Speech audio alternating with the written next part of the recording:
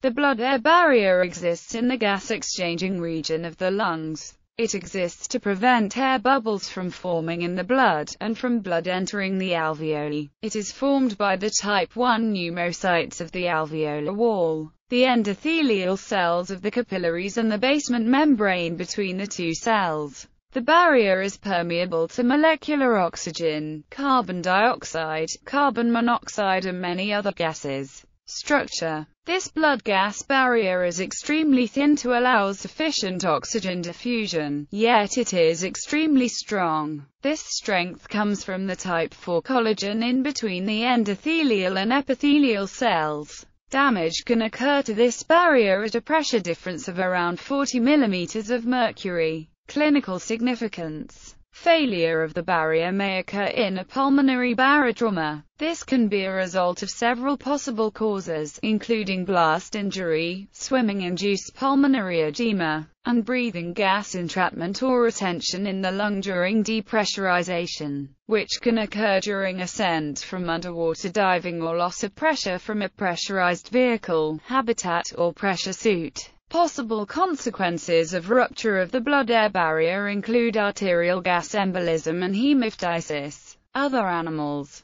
Failure of the barrier is often seen in racehorses and other domesticated horses due to exercise-induced blood pressure rising above normal.